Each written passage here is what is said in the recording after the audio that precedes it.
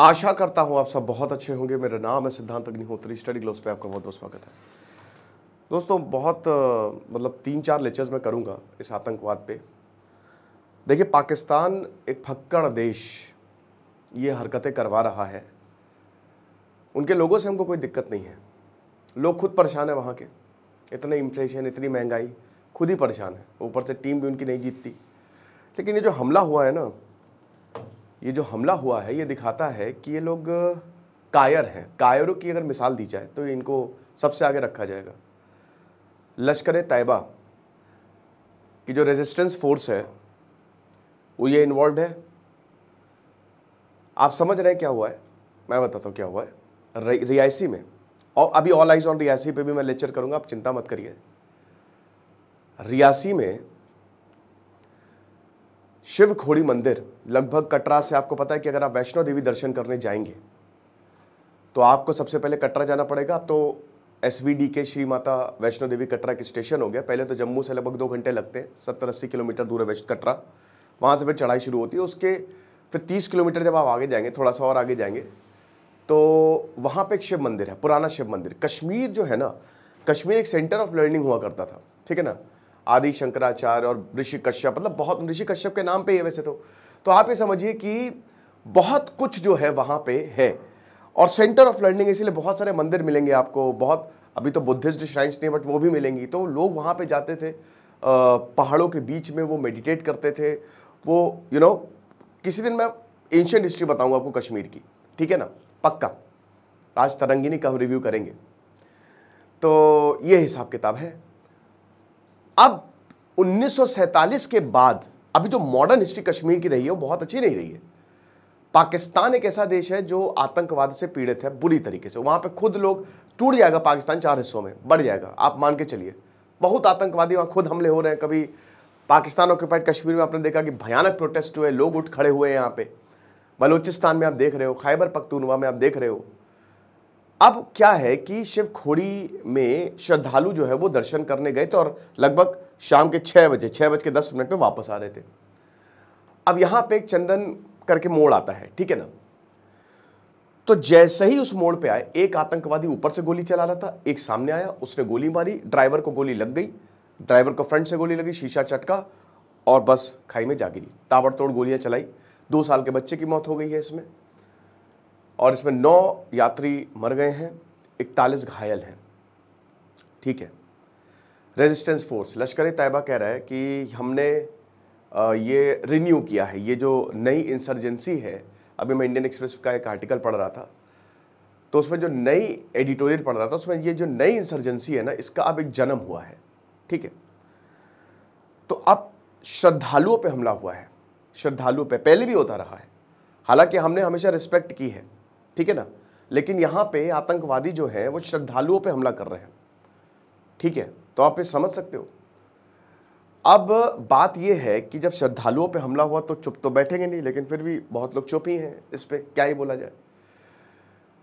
तो ये क्या दिखा रहा है? ये ये दिखा रहा है कि पाकिस्तान इन्वॉल्व है और पाकिस्तान छटपटा रहा है। असेंबली इलेक्शंस होने वाले हैं तीस सितंबर को। एक बार असेंबली इलेक्शंस हुए तो कश्मीर में और ज़्यादा कंट्रोल आ जाएगा। कश्मीर में इस समय जो माहौल है ना, वो शायद कश्मीर में कभी नहीं देखा। पैसे आ रहे हैं खूब सारे कश्मीर में, कश्मीर डेवलप हो रहा है। कश्मीर में अब एक लंबा पीस हमको देखने को मिला है। और मैंने आपको बताया था, जब पत्थरबाजी होती थी बुरहान वानी का समय, मैंने आपको बताया था कि अगर आप कश्मीर के युवाओं को नौकरी दे दो, हालाँकि अभी भी प्रॉब्लम्स है, मैं वो नहीं कह रहा हूँ, लेकिन हाँ अगर वहाँ पे पैसे दोगे डेवलपमेंट दोगे तो में अपने पास ही आ जाएगा। तो ये हमको देखने को मिला है। तो अब ये लोग छटपटा रहे हैं, क्या करें, क्या ना करें? आर्मी मारेगी?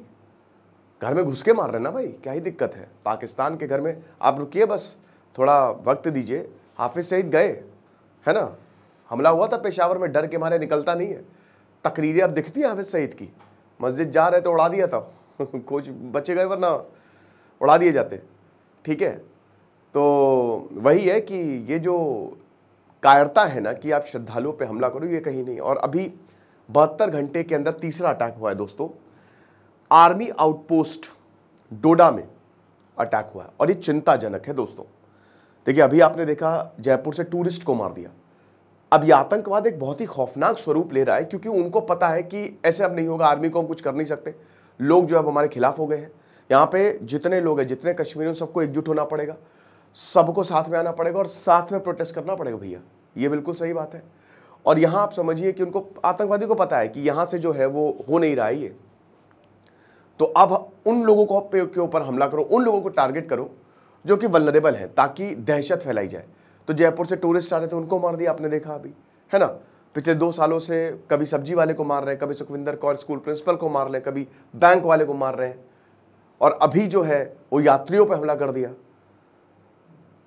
और बहत्तर घंटे के अंदर अंदर ये तीसरा हमला है, जो कश्मीर का जो डोडा डिस्ट्रिक्ट है, वहाँ पे हमला किया है। ठीक है ना? यहाँ राष्ट्रीय राइफल्स के ऊपर गोली चलाई है। हालाँकि अभी कोई हताहत नहीं हुआ है, कोई कैजुअलिटी नहीं हुई है लेकिन हाँ एनकाउंटर जारी है दोस्तों। एनकाउंटर जारी है, ये एडीजी ने हमको बताया है। तो जॉइंट ऑपरेशन पुलिस और पैरामिलिट्री फोर्स कर रही है। एलिमिनेट कर देंगे, मर जाएँगे ये। बचेंगे थोड़ी ना, मर जाए, खत्म कर देंगे। ठीक है? आए हो बहुत बड़े ए के फोर्टी सेवन लेके मार दिए जाओगे। खुद ही समझना चाहिए कि ये लोग तुमको यूज़ करते हैं। अजमल कसाब को पूरा गरीब आदमी, उसको आतंकवादी बना दिया वो मोहरा। बन गया आतंकवादी, क्योंकि पाकिस्तान में कुछ और तो है नहीं करने के लिए। पकड़ो ब्रेन वॉश करो और इनके जो आका है वो बैठे रहते हैं। तो इनको खुद ही समझना चाहिए कि हम कहाँ जा रहे हैं। बच्चों के तो है नहीं, मरो, मरोगे, ये गोली है बस। एक गोली से ही नाम रोशन हो जाएगा। जो यहाँ पे नाम रोशन करने आए थे, बहुत यू नो जन्नत की सैर करने आए थे। तो अब ये जो रियासी डिस्ट्रिक्ट में हुआ है, ठीक है, उसी के रिस्पॉन्स में अच्छा एक और यहाँ पे, कठुआ में भी, कठुआ में जो गाँव है साइदा विलेज वहाँ पे भी यही हुआ। वहाँ पे क्या हुआ कि दो आतंकवादी जो है, वो घर में घुसे। वो घर में घुसे, बोले कि हमको पानी चाहिए। पानी पीने के लिए घुसे, लेकिन भाई आतंकवादी थे तो भाग गए यहाँ पे जो घर के लोग थे, वो भागे। उन्होंने ओपन फायर मतलब फायर ओपन कर दिया। तो वहाँ पे भी जो है, ये सारी चीज़ें हमको देखने को मिली हैं। तो आप ये समझिए कि हालात जो हैं, कश्मीर के अभी थोड़े से ख़राब हैं। नहीं मतलब सॉरी इस समय जो है, अभी जो हुआ है, वो दिक्कत पैदा करने वाला है। और अगर आप आतंकवाद के नज़रिए से देखो तो ब्रॉडली तो आतंकवाद ख़त्म हुआ है, लेकिन यहाँ पे अब स्ट्रैटेजी एक है कि भाई, जो भी मिले मारो। सिक्योरिटी फोर्सेज जो है, वो डेफिनेटली इस पर काम कर रही हैं। एलिमिनेट कर देंगी नो डाउट ठीक है, ख़त्म कर देंगी वो। लेकिन मैं फिर से बोलूँगा कि असेंबली इलेक्शन करवाने जाने चाहिए। तीस सितंबर का वेट मत करिए। मैं सरकार से ये विनती करूँगा कि आप इससे पहले पहले करवाइए। ये बहुत ज़रूरी रहेंगे। ये वाले, ये बहुत ज़रूरी रहेंगे। असेंबली इलेक्शन जो है वो एक नई दिशा देंगे। कश्मीर को एक नई जान फूक देंगे। और ज़्यादा शानदार हो जाएगा। तो आप सुप्रीम कोर्ट का वेट मत करिए। उन्होंने बोला तीस सितंबर।